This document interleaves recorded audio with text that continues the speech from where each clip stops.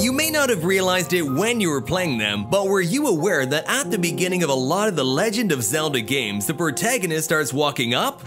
Whether it's in a bed, on a beach, or in a hot tub. Well, that's no coincidence. This is totally intentional and has a deep meaning behind it. Apparently, Link waking up in every game is a metaphor for the awakening of a new hero, and that's why all the continuations of previous Zelda games don't start with Link awakening from their slumber.